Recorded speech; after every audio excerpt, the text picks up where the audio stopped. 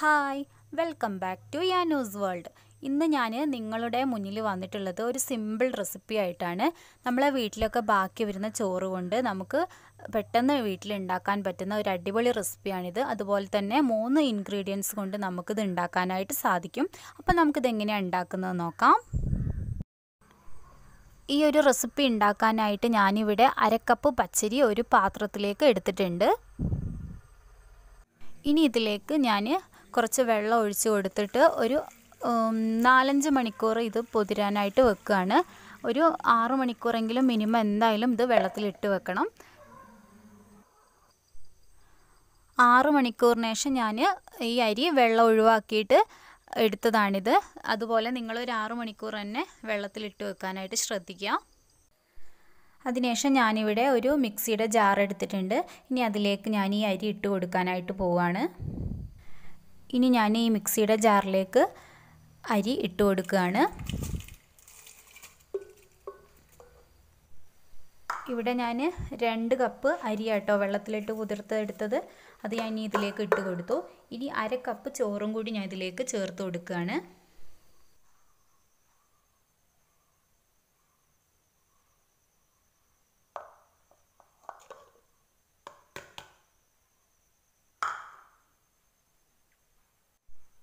ഇനി ഇതിലേക്ക് ഞാൻ ആദ്യം അരക്കപ്പ് വെള്ളം ചേർത്ത് കൊടുക്കുകയാണ് അതിനുശേഷം വീണ്ടും ഒരു അരക്കപ്പ് വെള്ളം ചേർത്ത് കൊടുക്കുകയാണ് ഇനി നമുക്ക് നമ്മുടെ പച്ചരി അതുപോലെ തന്നെ ചോറും എല്ലാം നമുക്ക് നന്നായിട്ട് ഗ്രൈൻഡ് ചെയ്തെടുത്തിട്ട് വരാം. അങ്ങനെ നമ്മുടെ പച്ചരിയും ചോറും ഞാൻ നന്നായിട്ട് ഗ്രൈൻഡ് ചെയ്തെടുത്തിട്ടുണ്ട്.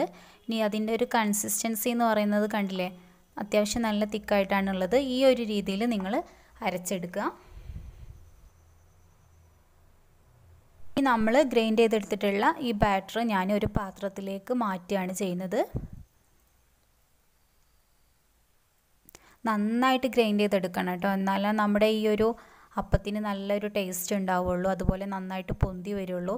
നമ്മളിനി ഈ ബാറ്റർ റെസ്റ്റ് ചെയ്യാനായിട്ടൊന്നും വെക്കുന്നില്ല. കറക്റ്റ് അപ്പം തന്നെ ചുട്ടെടുക്കുകയാണ് ചെയ്യുന്നത്. നെക്സ്റ്റ് ഞാൻ ചെയ്യാനായിട്ട് പോകുന്നത് ഇനി ഈ ബാറ്ററിലേക്ക് ആവശ്യത്തിനുള്ള ഉപ്പ് ചേർത്ത് കൊടുക്കുകയാണ് ചെയ്യുന്നത്.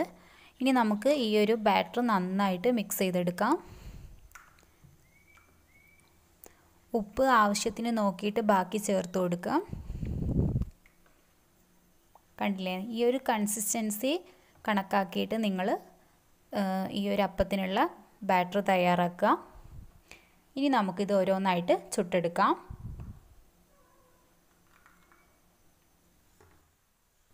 ഇനി ഈ നമ്മുടെ റെസിപ്പി തയ്യാറാക്കാനായിട്ട് ഞാനിവിടെ ഗ്യാസ് അടുപ്പിൽ ഇരുമ്പൻ ചട്ടി വെച്ചിട്ടുണ്ട്. ഇനി ഈ ചട്ടി നന്നായി ചൂടായി വരുമ്പോൾ നമുക്കിതിലേക്ക് ആവശ്യത്തിനുള്ള എണ്ണ ഒഴിച്ചു കൊടുക്കാം. ഓയിലോ വെളിച്ചെണ്ണ നിങ്ങൾക്ക് ഇഷ്ടമുള്ളത് ചൂസ് ചെയ്യാം. ഞാനിവിടെ വെളിച്ചെണ്ണയിലാണ് ചെയ്യാൻ പോകുന്നത്. ചട്ടി നന്നായി ചൂടായി വന്നിട്ടുണ്ട്. ഇനി ഞാൻ ഇതിലേക്ക് വറുത്തെടുക്കാൻ ആവശ്യമായിട്ടുള്ള വെളിച്ചെണ്ണ ഒഴിച്ചു കൊടുക്കുകയാണ് അതിനുശേഷം ഈ എണ്ണ നന്നായി ചൂടായി വരുമ്പോൾ നമുക്ക് ഓരോ തവി മാവ് ഒഴിച്ചു കൊടുത്തിട്ട് നമുക്ക് ഈ അപ്പം ചുട്ടെടുക്കാം.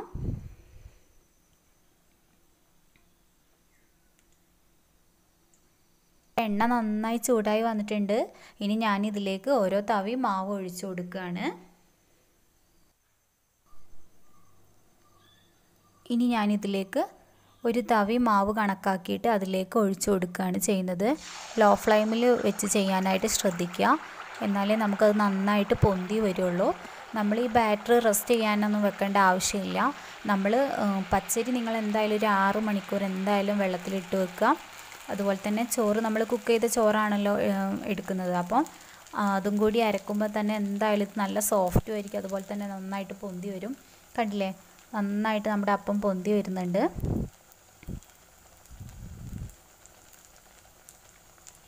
കണ്ടോ? നല്ല നല്ല രീതിയിൽ തന്നെ നമുക്ക് ഇത് പൊന്തി വന്നിട്ടുണ്ട്. അപ്പോൾ വൺ സൈഡ് നന്നായിട്ട് കുക്കായി വന്നിട്ടുണ്ട്. ഇനി ഞാനിത് തിരിച്ചിട്ട് കൊടുക്കുകയാണ് ചെയ്യുന്നത്. കണ്ടില്ലേ?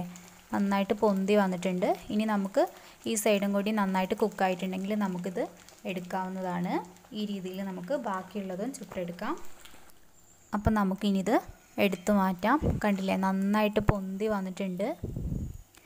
നമ്മൾ ഈ പൂരിയൊക്കെ ഉണ്ടാക്കുമ്പോൾ പരത്താനുള്ള റിസ്ക് കൊണ്ട് നമ്മൾ അധികം അത് ഉണ്ടാക്കാതെ മാറ്റി വെക്കും.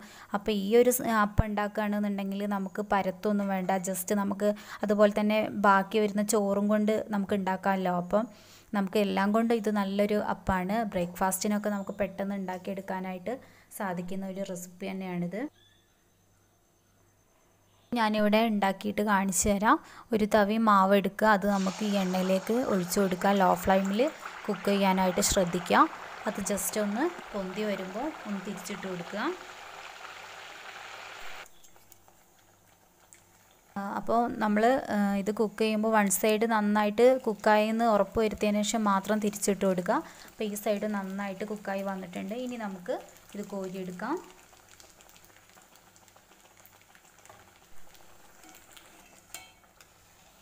നിങ്ങൾക്കിത് കാണുമ്പോൾ തന്നെ മനസ്സിലാവുന്നുണ്ടാവും. നന്നായിട്ട് പൊന്തി വന്നിട്ടുണ്ട് കണ്ടില്ലേ?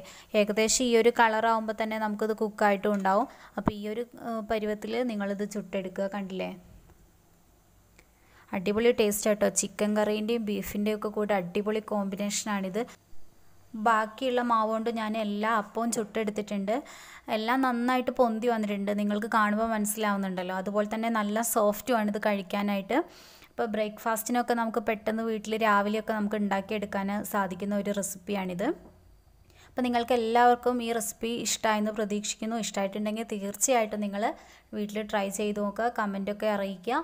അതോടൊപ്പം യാനുസ് വേൾഡ് ചാനൽ സബ്സ്ക്രൈബ് ചെയ്യുക. തൊട്ടടുത്ത് കാണുന്ന ബെല്ലൈക്കൺ കൂടി ഒന്ന് ക്ലിക്ക് ചെയ്യുക. താങ്ക്